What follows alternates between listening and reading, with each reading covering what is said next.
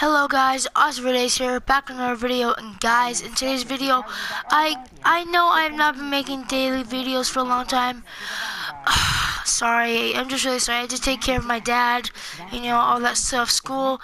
But guys, school is almost out, and I can make videos mostly every day. I will try. I know I keep saying that, but things have been pretty serious. I just wanted to say that now, and yeah, guys, let's get into the video. So, um I will be sharing with you guys all of these weapons and how they are really good and the perks that are really like I'm not gonna say rare, but good if you get it, like really really good.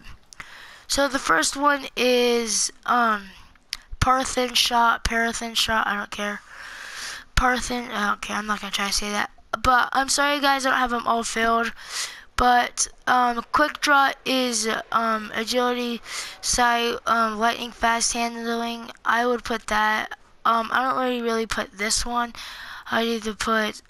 Um, I would really only put this one on. But outlaw um, precision kill with weapon dramatically. weapon dramatically increases its reload speed and particle refund um, changed the return portion of the magazine after an assistant. Uh, sorry if you keep hearing me go like this, but I would do outlaw, and because I'm kind of really good at headshots, perfect perfect balance. Um, the weapon has incre incre increasingly low recall, and then lightweight when held this weapon grants two characters agility, which would be good in uh, Trials of Osiris, I think. I don't really care, but I would think it would be. Um, Rand, wait, uh, range feeder, whatever. Uh, wait, aiming this weapon increases effect range. I would keep that, and then um, Treads Upon Stars. This would be good for like strikes. I would put this one on and precision sights, high zoom, in class, reach range, uh, increased range, um, angle, lightning, fast handling. I would put this one, but yeah.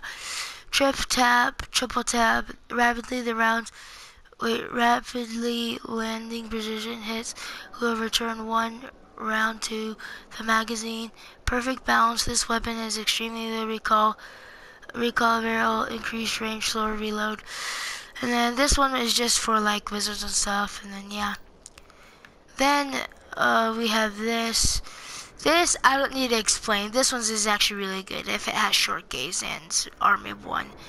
And snapshot and Tikni and armor. I'm just gonna say that, but this one it could have Short Gaze, Army of One. This one is an okay roll, but Dimension, this you can change Fallen Captains. This gains better target because I don't really care. Army of One, this one is actually a, uh, a really good perk. Quick on less kills with this weapon, reduced generate, generate, wait, grenade, uh, and melee cooldown.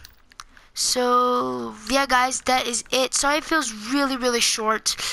Um, I will make a PvP video today, I promise. Oh, and uh, guys, I will make you a deal.